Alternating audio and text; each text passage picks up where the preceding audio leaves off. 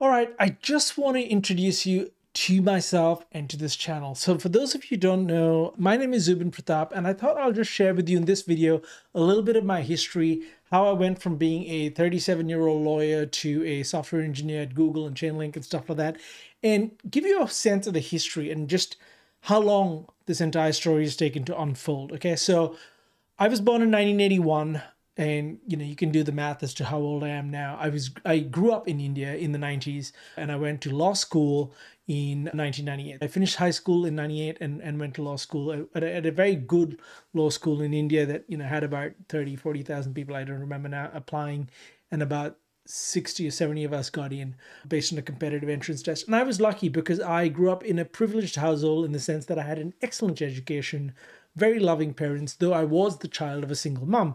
My mum was a very hard worker, very successful in her career, but very much a salaried employee, you know, and so on and so forth. So I grew up in that kind of environment where we were always taught do the best you can at school, study as hard as you can, get a good job, keep your head down, you know, definitely go for your goals, but all you know, it's, it's about pursuit of academic excellence and, and hoping that you get a great job and you get to hold on to it. Because in, in the 80s and 90s, the world in India was very, very different. And being raised by a single mom in 1980s India was very different. But my mom is perhaps the most heroic person I've ever met and truly a, an inspiration. So I was very fortunate. I grew up in a very loving household and i think that gave me a giant advantage in life as did the kind of education they put me through so you know quite a bit of luck there when you think about the fact that i didn't choose the family i was born into but I did have to do a very competitive entrance test to get into law school. And to be honest, I kind of scraped through. I was on the wait list. I think it was number six on the wait list, and then you know other people dropped out, and and, and so I, I made it in, and that was a really important formative period in my life because between 1998 and 2003, which is the, the period in which I was in law school, the whole world changed. Right, 98 Google wasn't a thing the dot com boom had barely started to take shape. And then by the time I came out in 2003, the dot com boom was over, the dot com bust was over. Google was actually known to the world more or less. By that point in time, I think Gmail was still by invite only. You know, back then there was no YouTube, there was certainly no Facebook. You know, some it was just a, a very, very, very different world. Email was still starting to get reasonably mainstream, and everyone is using Hotmail or Yahoo email addresses. So, you know, the whole world was quite different. And I was very much caught by that momentum. So 2003, I got myself an internship at the UN in Austria, and I went there. Spent you know about six months That was a fantastic experience. Really one of the most global experiences I had, and learned a lot about leadership and um, things like that. And I was very young at that point in time, so I was quite lucky. Anyway, after that, I moved back to New Delhi in India, and I started my practice in as a litigator, which means I went to court in, in Delhi, which is the, the capital city of India. And it was a wonderful period of time, but I was rapidly getting disillusioned in my first two, two to three years of um, litigation. I don't think it was right for me, you know, and, and it became quite clear to me during that time that it wasn't quite right for me. And then that was what prompted my first career change when I moved in 2006 after about three years of practice to a corporate law practice, which meant that I was doing a lot of contracts, negotiations, mergers, and acquisitions. And, and at that point of time, I worked for a really great law firm with a phenomenal team and I learned a lot. And that was perhaps my first real big lesson as to how much just how much the team around you matters for your success, for your well being, for your motivation, for your engagement with the topic, and for your growth. And I learned tremendous amounts from that team. It was really a special time, and a special time in Indian history as well, because I was working on some deals that were you know, in the middle of two, the 2000s, a very special time in Indian aviation history, and I was an aviation lawyer for a while there. And then after that, I got a very lucky break with a with the global law firm, and I asked to be in the Melbourne office, which was fantastic. Again, wonderful people, and the kindness of relative strangers to give me the opportunity. And I moved to Australia in 2007, still very much a lawyer, at that point in time, a corporate lawyer, and just in time for the big global financial crisis. Now, most of you who are probably watching this were not around or certainly may not have been in the workforce in 2007 to 2010, which was a brutal brutal recession. It was a really hard time. Keep in mind, though, that technology hadn't yet reached this fevered pitch that it's at now. It was a different world, dominated by bank- banking and construction and some manufacturing and things like that. And the financial crisis hit a lot of people very, very hard. A lot of people lost a lot of money, lost a lot of their savings, um, pensions, retirement funds, and so on.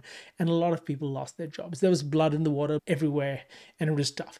I barely held on to my job, and I was highly motivated to do so because I was still on a work visa and I did not want to get kicked out and have to leave the country or find a new job in 30 days. That was rough. That was a second massive lesson in my life the importance of career management and of being able to look around corners in order to always have plans for the worst for your future career, which takes a lot of discipline and skill. I learned that the hard way at that point of time. I was actually working at that point of time in General Motors, though I was seconded there as a lawyer. It was a fantastic experience, and I'm grateful to the people there for giving me that. But keep in mind, General Motors filed for bankruptcy at that point of time in the US, and so the world was a very, very difficult and different place back then. But I worked on some phenomenal things that helped my resume look good, gave me fantastic experience that you know really helped. But around this time, I started thinking, hang on, there's this big tech boom that's going on. These startups are you know going crazy, and Facebook was starting to go mainstream. Instagram wasn't quite a thing at that point in time. Uber wasn't a thing. Dropbox wasn't a thing. Airbnb wasn't a thing. Y Combinator was starting to get quite known very different world, right? 2010. Anyway, at that point in time, I realized, hey, I think I really want to get into this tech thing, but I had no idea what to do. I wasn't good at math. I didn't think I was ever going to be smart enough to do what these coding guys did. Like they all seemed like a bunch of geniuses who really understood computers and could do these magical things. So, you know, I kind of ruled that out for myself. Anyway, I felt this desire rising in me and it was getting stronger and stronger, but I didn't know quite what to do. Along the way, around 2012, 2013, I tried to dabble in some code, my first of many attempts, and I failed miserably. I was totally in over my head. And keep in mind, this was before things like Coursera and stuff were mainstream. YouTube was only about eight years old at that point in time. It wasn't the level of information that we have now, and Instagram wasn't a thing. TikTok didn't exist. None of these things that we consider normal today was normal back in 2012, 2013. The world was genuinely a very different place, and it was just 10, 12 years ago, right? And so while there was plenty of information on the internet, there was no way for me to put it all together. So I kept stumbling around, along and doing the wrong things and getting really frustrated and disheartened and discouraged.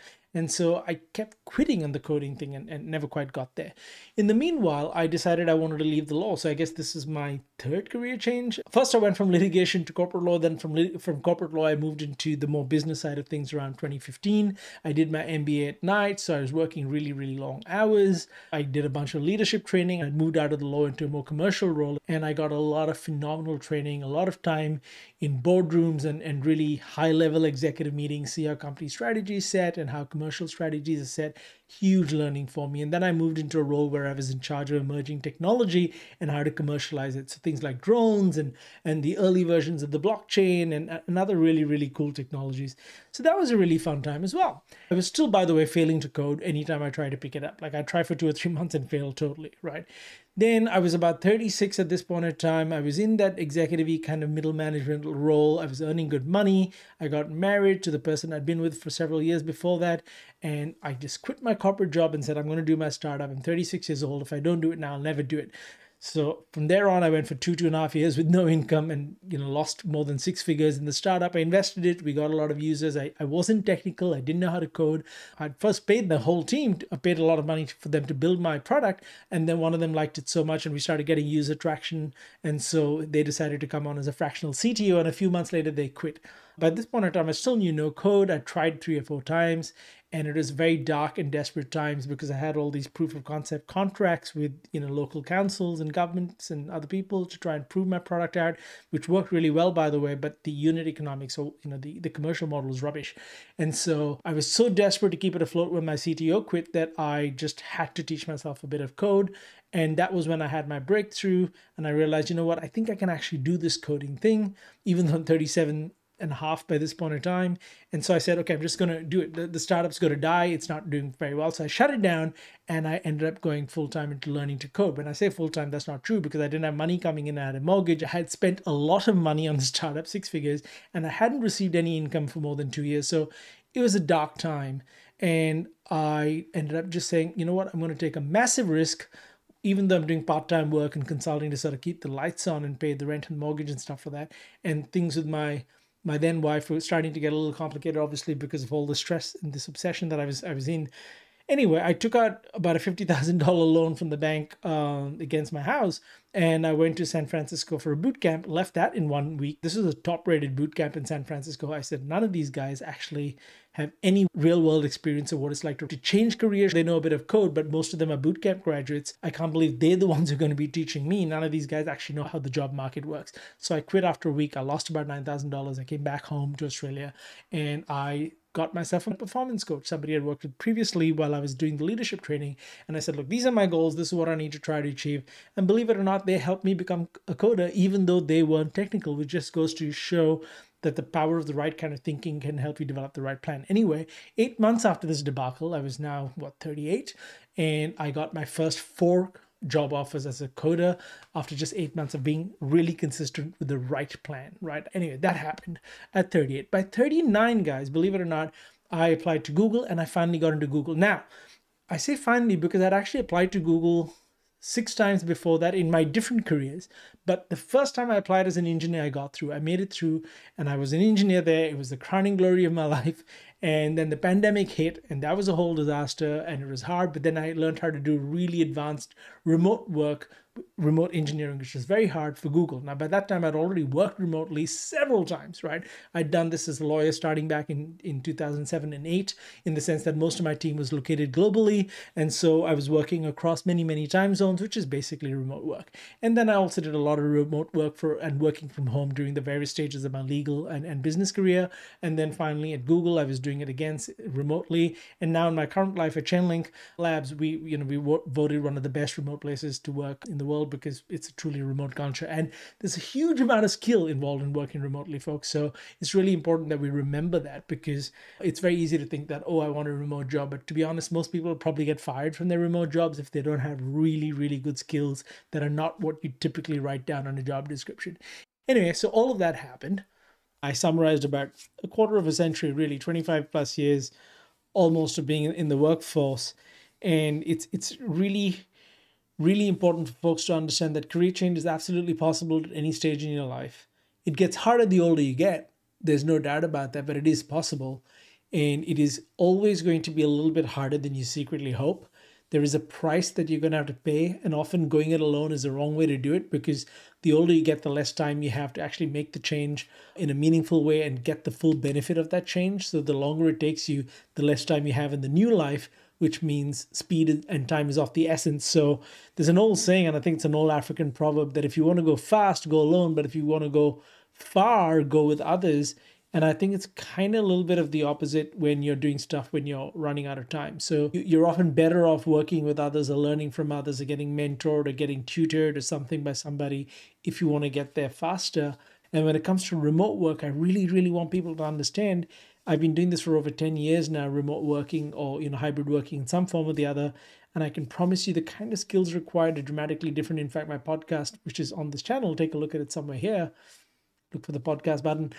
I have an entire episode on, on the 10 different skills that you really need to get very good at for remote or hybrid working, which I've learned over the last 12 years and arguably before that as well. Even when I was working at the UN, a lot of the teams are overseas, right? So when you're doing that kind of work uh, across cultures, across boundaries, the people you've never met before, it's super important for you to master about 10 different skills that I talk about in that podcast because those skills will make sure you don't get fired and that your performance stays top notch and that you really stand out in your profession. So, my biggest learning out of all of this is that most things are harder than we realize, but with the right plan, everything becomes easy you also definitely do not need to be the smartest person at everything or the technically strongest person at anything. I was never never the technically strongest lawyer.